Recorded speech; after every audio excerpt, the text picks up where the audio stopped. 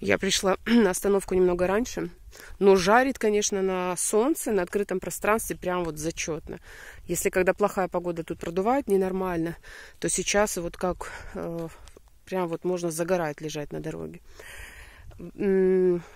Я пришла пораньше, потому что автобус иногда, ну, с огромной разницей, там даже в 10 минут приходит. Покручусь, поверчусь, здесь сниму для вас новости. Очень хорошая новость пришла из э, ну, как сказать, э, ну, страховая и э, все касаемо здравоохранения э, болезни и так далее. Значит, очень долго боролись люди с болезнью за свои права. Какая болезнь? Это в Хорватии называется цистичный фиброз, если его переводить типа как э, на латинском, вот он как пишется, я не знаю, наверное, правильно выговариваю. В России совсем другое название муко, муковисцидоз.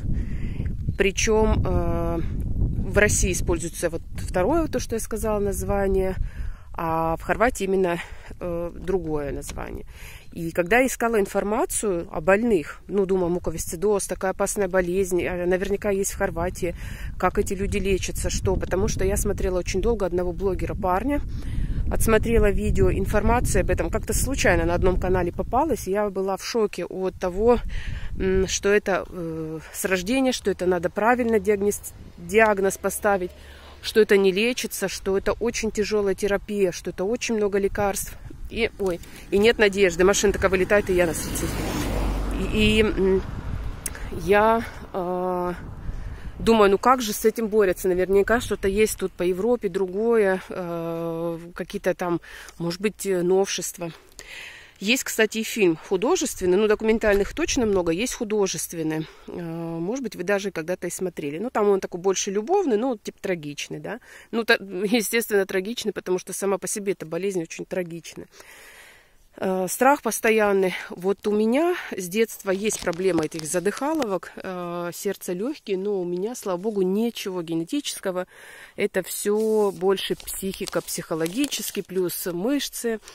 Э, и так далее. В общем, но ощущение вот это вот, что ты задыхаешься, что ты умираешь, ну, это я как-нибудь подробнее расскажу, как это было и, и как, в общем-то, я, ну, хоть более-менее избавилась от этого всего дела. В общем, э, я искала и нашла, в общем, случайно содружество, которое этим занимается в Хорватии. Ну, уже, естественно, сопоставила. А нет, я даже видела вести. В вестях писали о том, что дети просят спасти их, значит, что не хотят включать а, дорогостоящие лекарства, а в Хорватии около 150 человек болеет этим. В основном, конечно, это дети молодые, потому что не доживают, ну, редко кто, мне кажется, до 40, 30 это какая-то граница, а там еще зависимо от терапии. Ну, короче говоря, понимаете, да, насколько это страшно. И, ну, и тяжелая болезнь. И, в общем, э, не хотели ставить на лист э, э, специальный, который одобряется с типа терапии бесплатные, ввоз лекарств и так далее. Тогда боролись очень сильно люди за эти права, родители, те, кто в содружестве занимался по этому вопросу. И вот они, можно сказать, победили. Сейчас должно еще пройти одно подтверждение, но вроде как оно все окончательно. Э, наша э, Дума, так сказать, хорватская это одобрит. И как это будет функционировать, значит, лекарства. У нас там на, в списке есть три названия. Какие-то, вот не знаю, я, может, про, неправильно прочитаю. Кафтрия, э, Калидека и Оркамбия. Эти три лекарства они одобряют я точную цену не видела, не стала прям вот гуглить по ценам, но э, дорогое лечение.